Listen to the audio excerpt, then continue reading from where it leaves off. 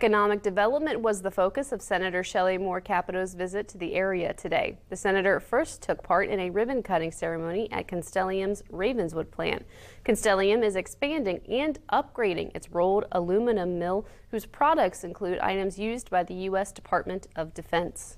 It's the it'll be used in our armor for our men and women uh, if they're deployed and uh, to protect them. And uh, the reason I am excited about it is I was able to play a part in it in terms of getting uh, the federal government to give some some help to uh, to put that into about of about nine million dollars. Senator Capito says she also secured $4.5 million in federal funding to modernize the plant and replace equipment that had been in use for more than 60 years. Constellium is one of Jackson County's and the area's largest employers. Senator Capito also made a visit to one of Parkersburg's biggest trademarks, Mister Bee potato chips.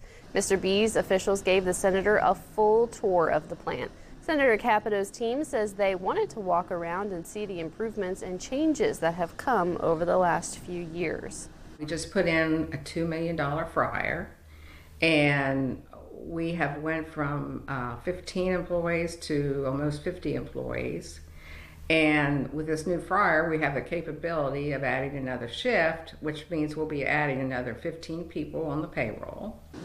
Kettleson also wanted to highlight to Senator Capito that the plant did not lose any employees during the pandemic.